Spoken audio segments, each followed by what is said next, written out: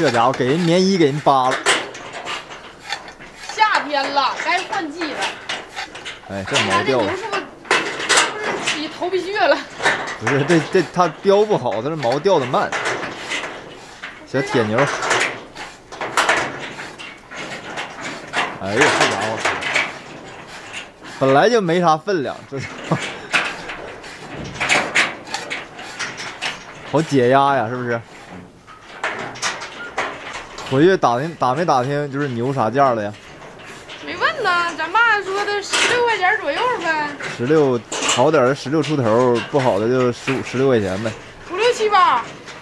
距离我上回问差直接掉一块钱，上回是十六块五六七八，这回是十五块五六七八九，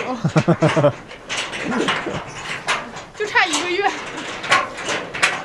最近好多朋友们跟我们说牛掉价了，你们这批牛赚不着钱了，太多人跟我们说了。然后其实我们了解到的信息也不太全面，但肯定是掉了。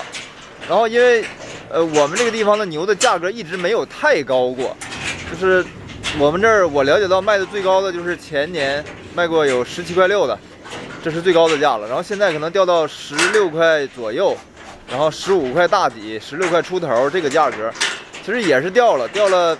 按我们这来说，掉了一块多钱。其实这个跌幅也不算大，但是也不算小，对吧？因为牛这个东西跌幅肯定是不太大的。牛掉价了，辛苦了一大年，也不知道能卖个什么价钱，也不知道能挣多少钱。你们玩呢？你这牛身上你刮的全是全是口出血了。谁让它太瘦了？这这别的刮牛刮咋不出血呢？妈，你真狠！我的妈！这他妈让你挠一会儿给放血给放死了还得。背不住我放上血它能好。你轻点儿的，你使劲使劲刮，那牛皮再厚也不能。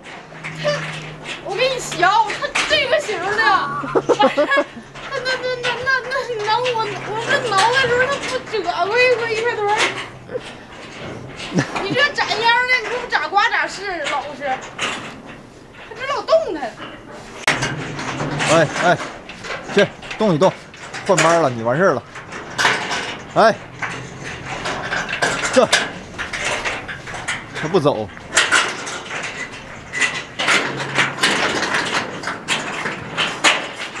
你这个熊玩意儿，这个熊玩意，这个打呀！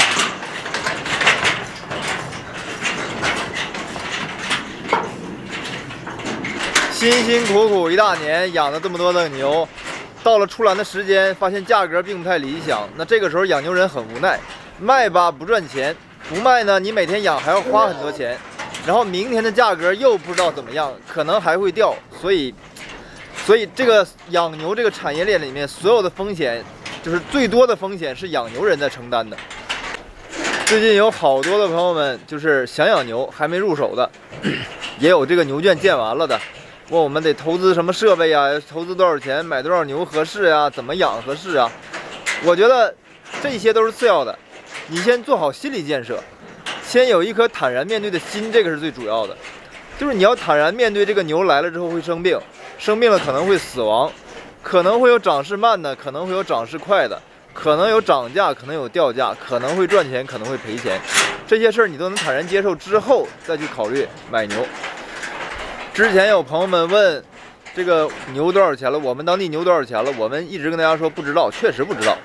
我们两个不太愿意去去打听这个事儿，因为第一个我们现在不卖牛，打听了牛掉价了我还焦虑，就没必要，对吧？如果是涨价了呢，我现在牛也卖不了，我还着急，我就不打听。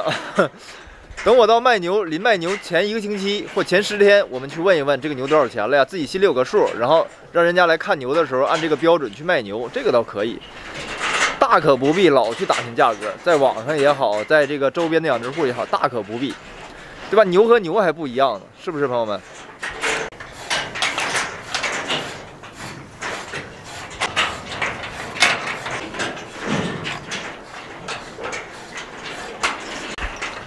像我们家这样一圈的牛，已经有个别的能达到出栏的标准了，但是也不能挑着卖。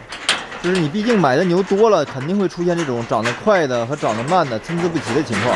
我们只能等一等，让这个呃大的等一等小的，把这个平均体重提高起来，这样才能有利润。好了，朋友们，世事无常呀，这个计划赶不上变化，这个个人的预测永远赶不上市场经济的变动，所以希望所有的养牛人坚持住，对吧？等一等，寒冬即将过去，无论赚多赚少，希望大家能坚持在这个行业，好吧？拜拜。